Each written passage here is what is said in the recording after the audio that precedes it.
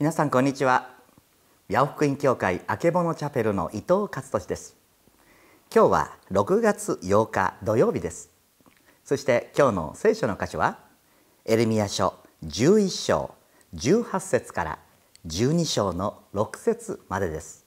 そして今日のテーマは使命を受けた者の苦難は悪者の栄えに勝ります、えー、悪者が栄える。ということの理由と意味について今日はご一緒に考えてみたいと思います。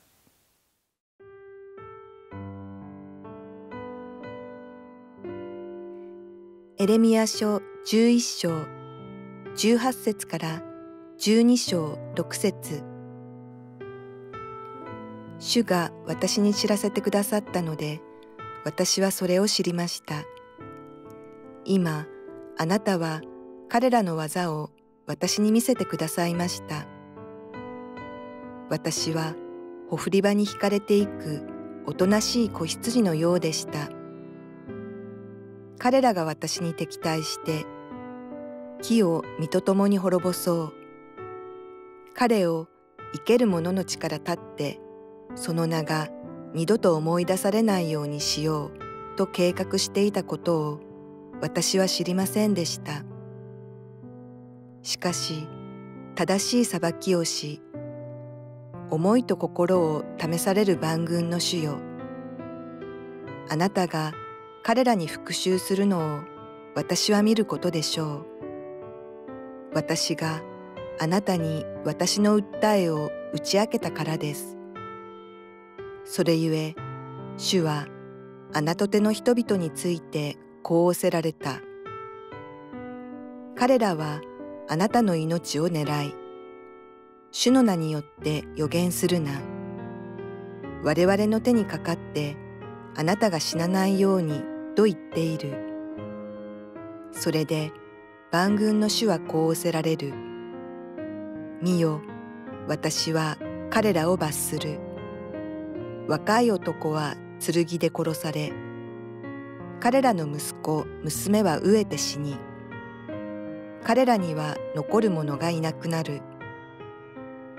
私があなとての人々に災いを下し、刑罰の年をもたらすからだ。主よ、私があなたと論じても、あなたの方が正しいのです。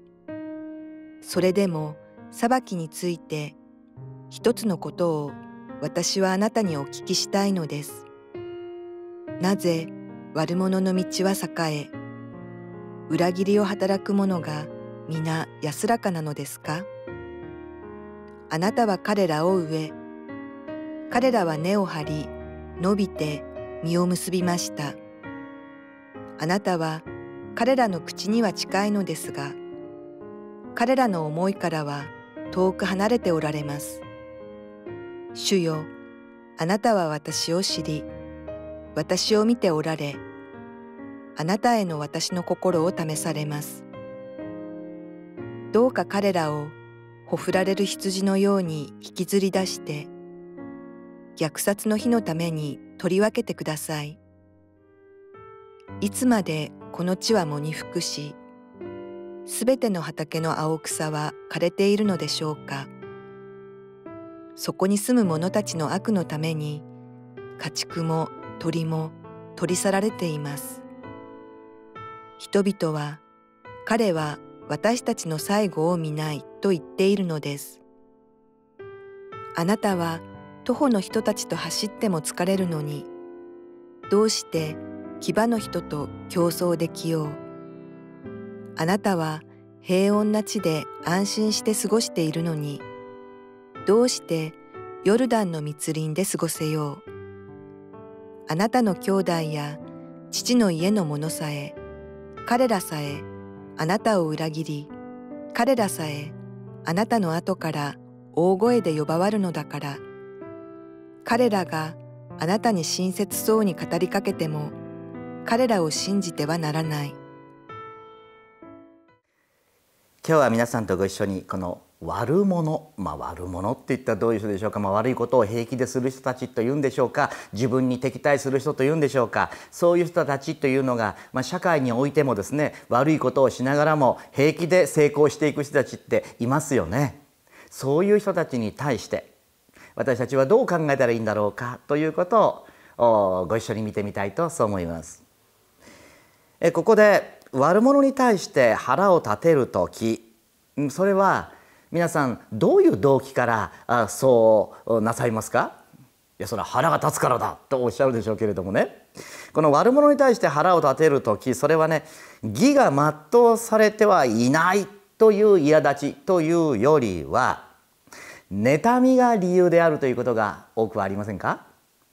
つまり私はこんなに大変な思いをしてるのにあんな楽な思いをしてそして嘘をついて不正をしながら成功している。それは我慢ならん。というようなですね。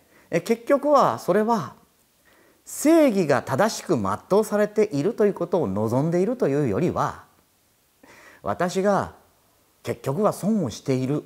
と考えてしまう。どこかで妬みが理由になっていませんか？そう。つまり不公平だずるいというわけです。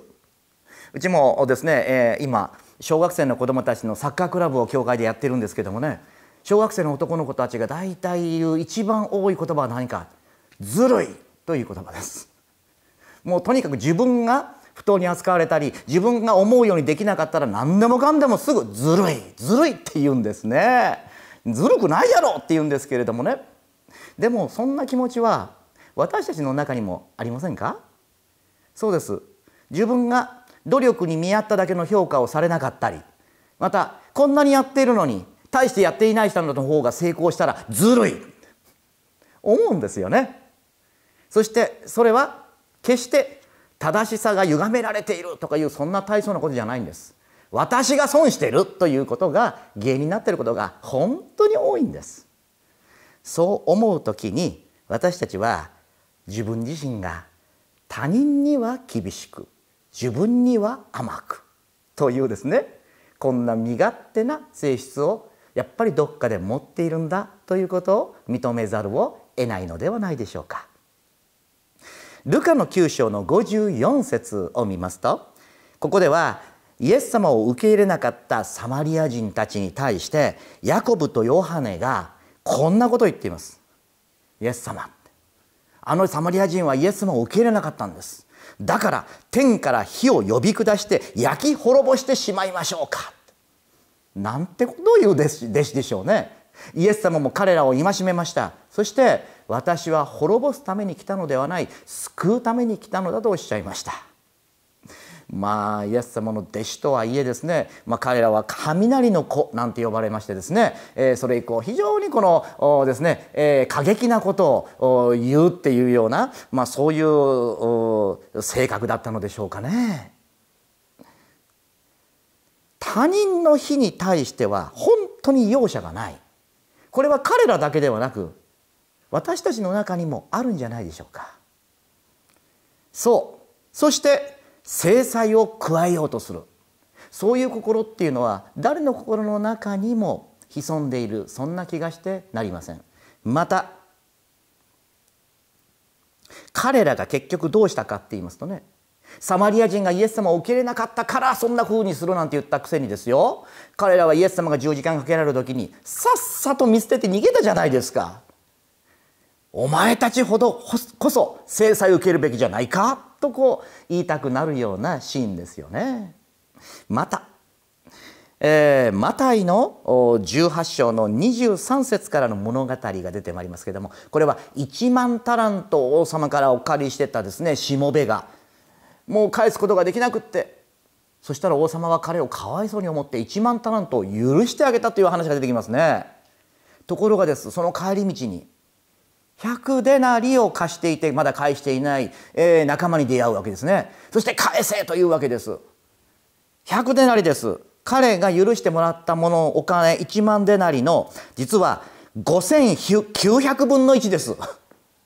それを許さないでそしてその仲間を牢屋に入れたって書いてますよね。なんてことするんですか？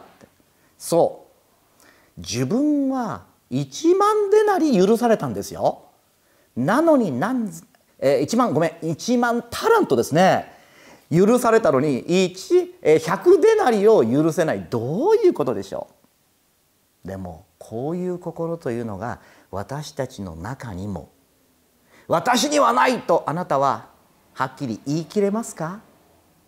私たちはどこかで人には厳しく自分には甘く。そんな心やっぱり持っているんじゃないでしょうか。そう。正しいものが苦難を受け悪いものが栄えるのを見る時腹が立つ気持ちというのはよくわかります。私も同じくなんでやねんって思います。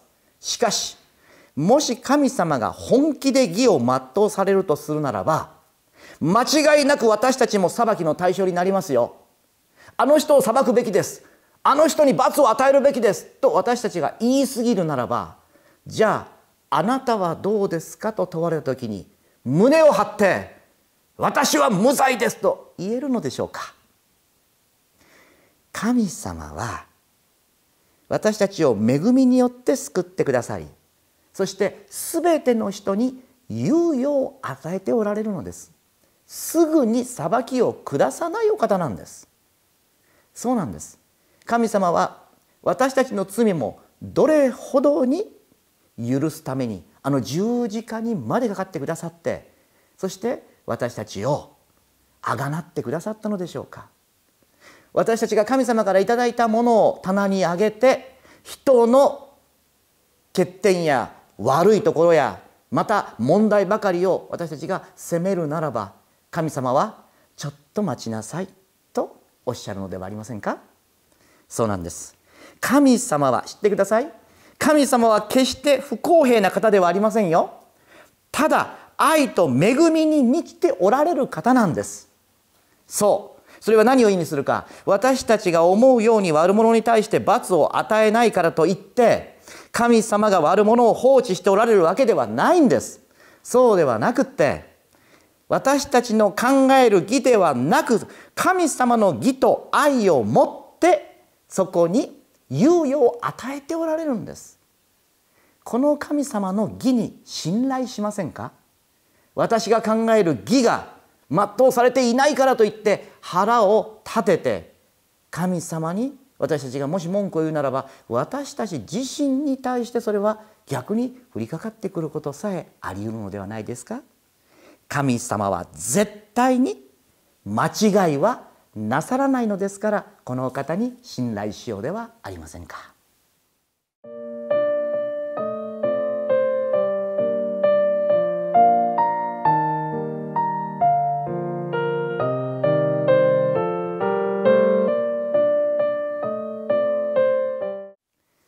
あなたも悪者に対して腹を立てることってありませんか？私もありますでも神様は悪者であった私に腹を立てられなかったのです。許してくださったのです。今も愛し続けてくださっているのです。1万タラント以上許されています。どうぞ100デナリの人を牢に入れないでください。簡単に許せないかもしれません。でも神様の大きな愛をいつも思い出してください。一言お祈りいたします。天の神様私は人に厳しく自分に甘い人間です。そうじゃないなどと絶対に言えません。でも神様は私たちにどれほど大きな愛と許しをくださったかこのことにしっかりと目を留めさせてください。腹を立てる私のこの狭くて小さな心にイエス様どうぞあなたの愛と恵みを大きく大きく広げてお与えくださり自覚させてください。イエス様の皆でお祈りいたします。アーメン。神様の祝福を祈ります。